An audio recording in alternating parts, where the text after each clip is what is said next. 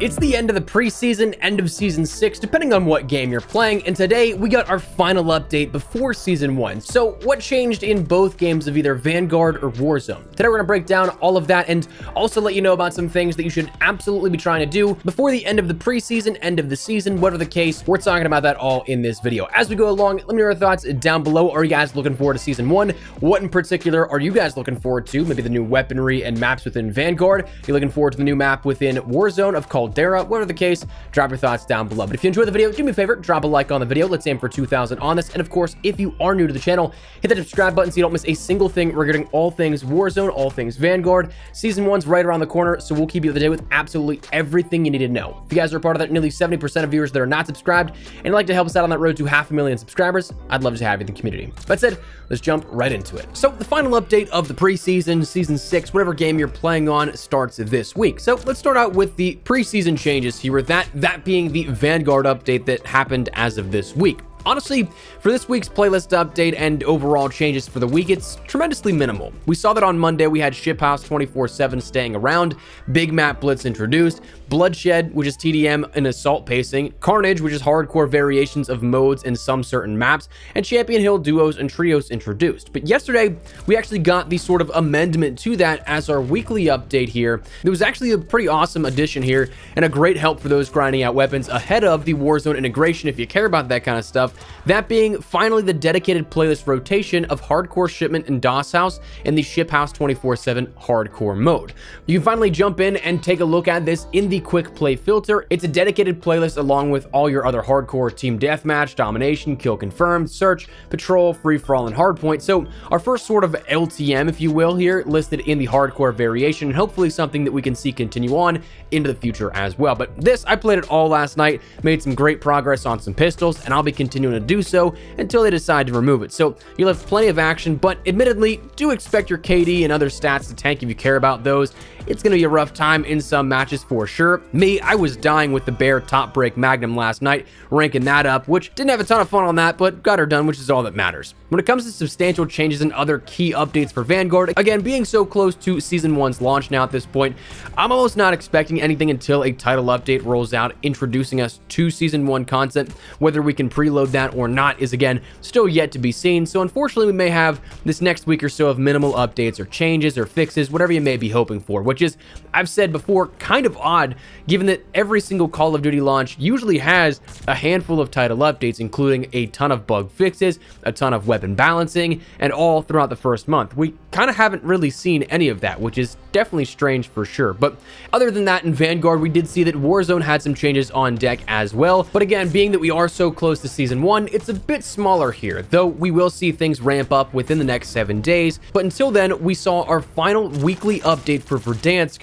in Warzone, and that kind of seems weird and a bit bittersweet to say that this is our last weekly address in terms of Verdansk for the immediate future, and pending that Modern Warfare does or does not bring back Verdansk in some capacity, perhaps the final weekly update maybe ever. But anyways, today we saw introduced was Battle Royale solos, duos, trios, and quads as per norm. We have Iron Trials duos as well in the mix.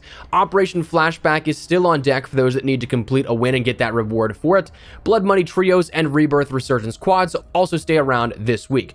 Removed to make some room for those includes Plunder trios and the payload subsection of Port and Promenade. Now, it's also important to note though that this is the last weekly update. It's not the last update for Warzone and Verdansk before this just yet because on Monday, that's when we'll see the playlist change again as we kick off the start of the last hours of Verdansk event at 10 a.m. Pacific time. So that's something you absolutely do not want to miss if you have the opportunity to stick around and play around with that. But that's something that for the next couple of days, you'll see this in relation to, say, Iron Trials duos and regular Battle Royale. Operation Flashback again will be live until that last hours of Verdansk update goes live, but the last weekly update in a sense for Verdansk. So Certainly interesting. Though on top of all of that, we will still continue to see more teasers inbound. Last night, we saw our first real teaser in regards to sort of points of interest for Warzone and Caldera, the brand new map coming along with it. Last night, Raven tweeted a closer look at Lagoon, a point of interest here in the coming map, and I'd imagine over the course of the next week, as we gear up for Caldera's launch with Season 1, we'll see even more of this. So maybe perhaps even right after this video goes live, the way the timing works out, there may be another teaser up at that point, showing another point of interest. But it showed off the locale, the world of Caldera a little bit more, and so far, based off of what we just see from Lagoon, I'm liking what I see so far. Personally, it feels a little bit more open in nature and kind of reminds me of Blackout in a sense where it's not so much you can camp up in a 20 story building or something like that. Instead, you gotta just basically use your environment and your gun skill to your advantage, utilizing only really those two pieces given that it is so open from what we've seen out of Lagoon. So definitely nice to see you're not just posted up with a million different windows that it's impossible to find a player. Curious to see how this will then translate into the overall gameplay. But before we wrap everything up, I do want to talk to you guys about a few things that you should absolutely make sure that you're completing and accomplishing before the end of either preseason in Vanguard or Season 6 in Warzone, depending on what game you're playing. But before we jump over into that, I want to take a second and let you guys know about my friends over at Gamer Advantage, who are running currently a 10% off site-wide discount on their entire inventory for the holidays, and using code Espresso can net you another 10% on top of that. So 20%, the only time this was really beaten was that of just the last week here when we had the Black Friday through Cyber Monday deals going on, but right now, still an incredible time to pick something up. If you guys are like me, you're either working at your desk, on your computer, gaming, or just glued to your phone, and all that screen time and the light it emits can start to take a toll on your eyes and play around with things like your sleeping quality and patterns, and you might not even realize it. That's where Gamer Advantage comes into play because their blue light glasses are the best on the market, and I will swear by that. I have used plenty of blue light glasses over the years where I think, okay, this 15 pair off Amazon is just fine, but when you're talking about your vision health,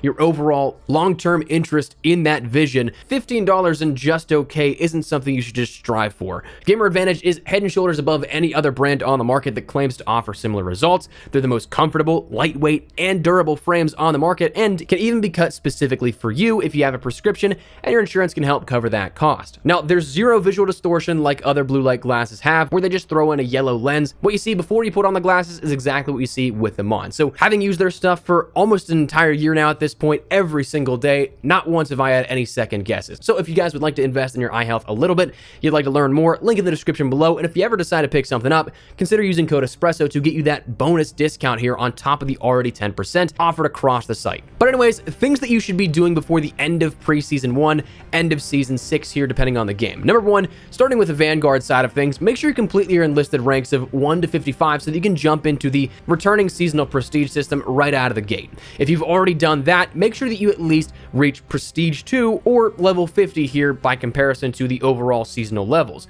That will then grant you the Debt Collector STG blueprint, something that will not be offered at all during the rest of the year. So if you guys want an exclusive blueprint here, this is that sort of air quote seasonal reward you'll get every single year. So make sure you take advantage of that. And if you've already done that, make sure that you've reached at least Prestige 3, level 100 to 101, which is capped, though you can actually see your overall rank in the after action report if you ever take a look at that, or it will pop up in game when you rank up. But doing so will ensure that you start at the highest prestige possible. Like last year, we'll see that we're going to start at Prestige 3 or 4 likely and go from there with resets every single season, bring you back down to that last sort of saved checkpoint. Anything after Prestige Master going up to level 1000 will just be bonus and then it will reset you down to the next Prestige that next season. After that, complete as many weapons as possible if you care at all about the full experience of every single weapon with Vanguard weaponry and Warzone. I know that I'm doing a last second mad dash to try and complete all of my weapons so I have all of them on offer on day one here, but we'll see how that all works out. And then of course, finally also complete your Secrets of the Pacific event if you have not done so already. There's six challenges spread across Warzone and Vanguard. I think Vanguard is a little bit easier, admittedly, though it might be something you can still do war zones in two to three games, perhaps. But by completing all six of those challenges and either Warzone or Vanguard, unfortunately, there's no sort of three and three where you can do both. It has to be a full six in either of those. But if you complete those, you get the STG Bomber Madness Blueprint, which is available in Vanguard right now, but not until Season 1 for Warzone with the integration that will happen in the future. So make sure you're completing all that stuff so you don't miss out on anything here in regards to the final bit of content for the preseason and Season 6 within Vanguard and Warzone ahead of Season 1's launch. But for right now, that is the last update here in regards to what we see leading before Season 1. So let me know your thoughts down below. Are you guys liking these changes you've seen so far? Are you looking forward to Season 1? Were you hoping for perhaps a little bit more in terms of a final hurrah for the preseason of Vanguard? Whatever the case may be, drop your thoughts down below. But if you enjoyed the video, do me a favor, drop a like on the video. And of course, if you are new to the channel, hit that subscribe button so you don't miss a single thing running all things Warzone, Vanguard, Season 1. We got you covered here on the channel. So if you're interested in any of that, make sure you hit the subscribe button. But that said, thanks so much for watching. My name is Espresso. I'll see you guys later. Take care and peace.